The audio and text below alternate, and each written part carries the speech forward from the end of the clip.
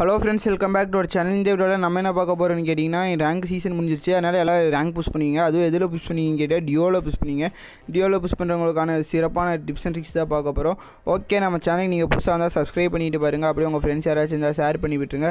அப்படியே அந்த ஒரு பெல் பட்டன் அமைக்கி விட்ருங்க நம்ம வந்து அப்போ தான் போகிற வீடியோ வரும். ஓகே ஃப்ரெண்ட்ஸ் அடுத்து என்னென்னு கேட்டிங்கன்னா வாங்க வீடியோக்குள்ளே போகலாம்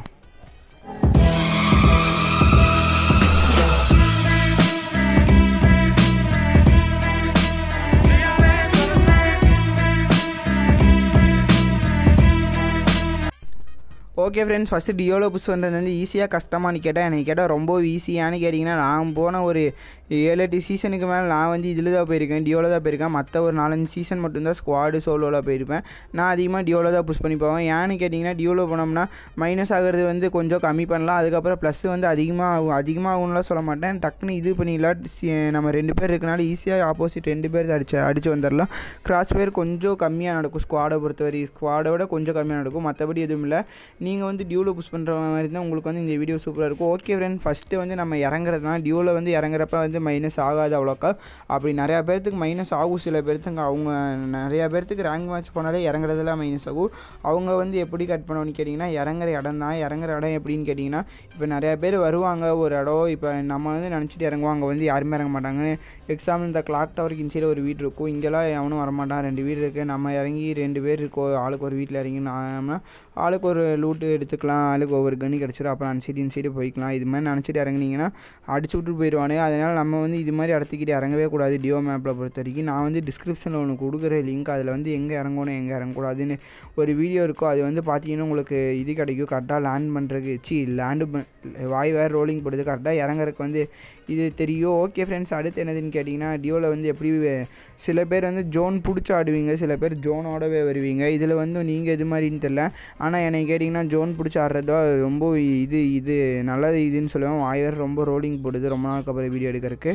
ஓகே இது வந்து ஜோன் பிடிச்சி ஆடுறது என்னதுன்னு கேட்டிங்கன்னா நீங்கள் வந்து ஏதாச்சும் ஒரு மூலையில் கரெக்டாக இறங்கி நல்லா லூட்டெல்லாம் அடிச்சுட்டு அதுக்கப்புறம் என்ன பண்ணணும்னு கேட்டிங்கன்னா ஏதாச்சும் ஒரு கார் இருக்கான்னு ஃபஸ்ட்டு ஜோன் பார்க்குற மிஷின் இருக்கான்னு பார்க்கணும் இருந்துச்சுன்னா செகண்ட் ஜோன் விழுந்தோன்னே சென்டராக பார்த்து கரெக்டாக கார் ஏதாச்சும் இருந்துச்சுன்னா சர்ருன்னு பறந்து வந்துடுவோன்னு வச்சு ஓடிட்டு வந்துடுவோன்னு அப்படி இல்லாட்டி லான்ச் பேர் இருந்தால் பறந்து வந்துடுங்க பறந்து வந்து கரெக்டாக நடுவால் ஒரு இடத்துல செகண்ட் ஜோன்லேயே பிடிச்சி உட்காந்துக்கிட்டிங்கன்னா உங்களுக்கு ஃபஸ்ட் ஜோன் செகண்ட் ஜோன் ரெண்டு ஜோன் தும்பமே இல்லாமல் உட்காந்துக்கலாம் அதுக்குள்ள அலைவு ஒரு முப்பதுக்குள்ளே வந்துடுவானுங்க இருபத்தெட்டு அது மாதிரி வருவானுங்க. அப்புறம் அந்த ஜோன் முடியிறக்குள்ள இந்த ஜோன் வெளிலேருந்து வரவனால கிராஸ் ஃபயர் ஆகி செத்து கரெக்டாக அந்த ஜோனு முடிஞ்சு அடுத்த ஜோன் வரக்குள்ள ஒரு இருபத்தி ரெண்டு இது மாதிரி தான் அளவு இருக்கும். நீங்கள் வந்து ஈஸியாக சர்வை பண்ணி பிளேஸ்மெண்ட்டை ஈஸியாக பிடிச்சிடலாம். நீங்கள் வந்து உங்ககிட்டே அவனாச்சும் வர வர விடாமல் பார்த்துக்கணும். வந்தானுன்னா இப்போ வேறு எல்லாம் ஈவெண்ட்டில் பெட்டு எடுத்துட்டானுங்க. அப்புறம் குக் பண்ணி போட்டு கொண்டு கொண்டு விடுவானுங்க. அதனால் பார்த்துக்கோங்க ஓகே ஃப்ரெண்ட்ஸ் அடுத்து ஜோன் பிடிக்காம அந்த ஜோனோடவே வருவாங்க. அது வந்து ஒரு நல்ல ட்ரிக்குன்னு தான் சொல்லுவேன். ஆனால் யாருக்குன்னு கேட்டால் யூஸ் பண்ண தெரியறவங்களுக்கு யூஸ் பண்ண தெரியாமல் எல்லோரும் பண்ணுறாங்க நம்மளும் பண்ணுறோன்னு பண்ணோம்னா அப்புறம் நம்மளை அடிச்சு விட்டு போயிடுவாங்க ஏன்னு கேட்டோம்னா நம்ம வந்து அப்படி பண்ணுறப்ப வெளில வெளியிலேருந்து உள்ளே வரப்போ இந்த சென்டர் பிடிச்சி நிறையா பிளேயர்ஸ் ஆடுவாங்க. பெரிய பெரிய பிளேயர்ஸ்லாம் இப்படி தான் ஆடுவாங்க. ரேங்க் புஷ் பண்ணுறாங்க இவங்க வந்து என்ன பண்ணுவாங்கன்னு கேட்டிங்கன்னா கன் ஏதாச்சும் கையில் வச்சுருந்தாங்கன்னா சுட்டு நம்மளை இது கொண்டு ஓடுவாங்க நாலஞ்சு சைடு இருந்து சுடுவாங்க. நம்ம குளுவாலாம் போட்டு தப்பிச்சு வரக்குள்ள நம்ம கொன்னே விடுவானுங்க. இது வந்து கொஞ்சம் பார்த்து ஆடினோம்னா அது பார்த்து கரெக்டாக ஆடி பழகிட்டோம்னா அது வந்து யூஸ் ஆகும். ஆனால் மேக்ஸிமம் நீங்கள் ரெண்டும் எனக்கு தெரியாதுன்னா ஜோன் பிடிச்சி ஆடுங்க.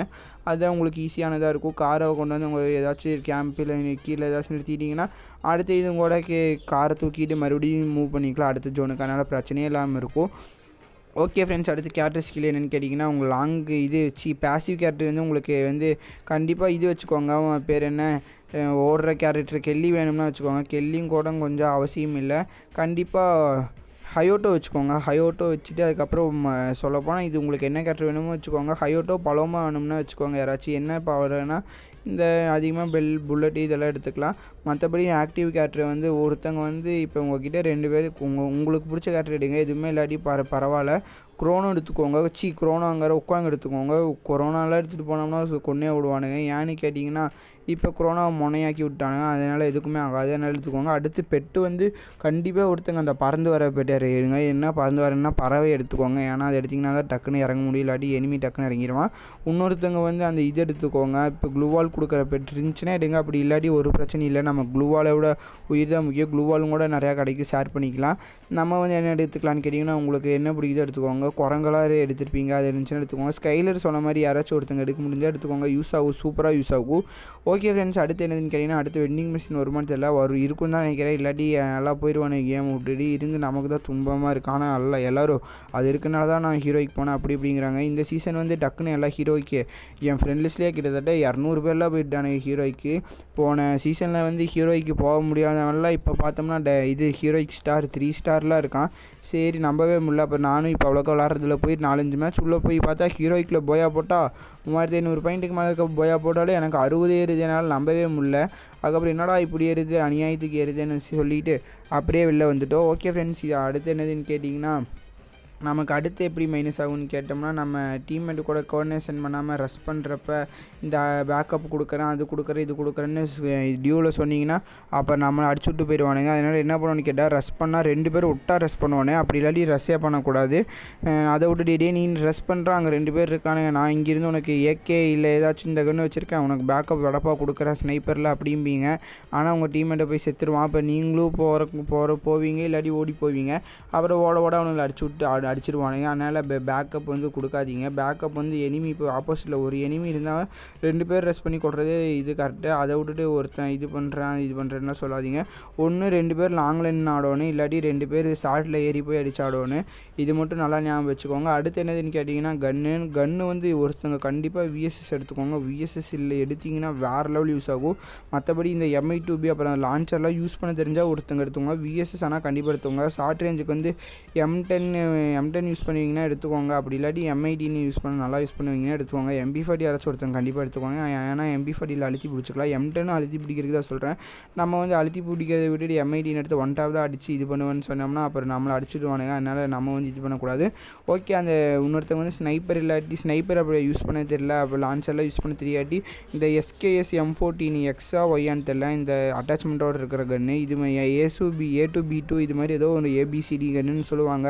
அது மாதிரி ஏதாச்சும் ஒரு கன் எடுத்துட்டிங்கன்னா பவர் வேறு லெவலாக இருக்கும். அடித்தாலே ஐம்பது நாற்பது ஐம்பது இறங்கும். அது மாதிரி கன் எடுத்துக்கோங்க. ஓகே ஃப்ரெண்ட்ஸ் அடுத்து நீங்கள் எப்பயுமே ரெஸ்ட் பண்ணாதீங்க. தனியாக ரெண்டு பேர் சேர்ந்து ரெஸ்ட் பண்ணுங்கள் அதை விட்டு தனியாக ரெஸ்ட் பண்ணாதீங்க. அடுத்து வந்து என்னென்னு கேட்டிங்கன்னா குக் கிரனேட் வந்து நிறையா பேர் குக் பண்ணி போட்டு பழகிட்டாங்க. அதனால் அதை வந்து பாதுகாப்பாக இருக்க பழகிக்கோங்க. அது மட்டும்தான் நீங்கள் வந்து ஏர் ட்ராப் எடுத்துகிட்டு போகாதீங்க. டியூ போகிறப்ப எனக்கு கேட்டால் பான்ஃபயர் எடுத்துகிட்டு போகலாம் ஏன்னா நம்ம டோர்னமெண்ட் ஆட போகிறது இல்லை. ஏர் ட்ராப்லாம் கொண்டு போய் நல்ல க்ரோஸாக இது மாதிரி கன் எடுத்து ஆடணும். நம்ம அந்த டப்பாக்கிட்ட இறங்கினாலே க்ரோஸாக கிடச்சிடும் அதே மாதிரி நீங்கள் இறங்குற இடத்துல கொஞ்சம் ஒரு த்ரீ ஹண்ட்ரட் மீட்டருக்குள்ளே வெண்டிங் மிஷின் இருக்கிற மாதிரி பாருங்கள் அப்போ தான் இறங்கணும்னு டக்குன்னு லூட் அடிக்க முடியும்.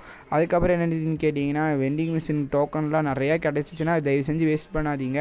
அதை விட்டுட்டு சரி நான் வேஸ்ட் பண்ணல நான் வச்சுருக்கேன் நான் வச்சுருக்கேன்னு ஒருத்தரே ஐம்பது டோக்கன் வைக்காமல் பாதிக்கு பாதி இப்போ ஒரு ஏழு அஞ்சு டோக்கன் நீங்கள் வச்சுருக்கீங்க கீழே ஒரு மூணு டோக்கன் கிடக்குதுன்னா உங்கள் டீம்மேட்டுக்கு இது சொல்லுங்கள் நீ இதே கீழே மூணு டோக்கன் இருக்க வந்து எடுத்துக்கோடா இது மாதிரிலாம் சொல்லுங்கள் அப்போ தான் அவனும் எடுத்து நம்ம அவன் ஏதாச்சும் பார்த்தானா கொடுப்பா இது மாதிரி லூட்டை ஷேர் பண்ணி விளாடுவானே அப்படி இல்லாட்டி எதுவுமே பண்ண முடியாது.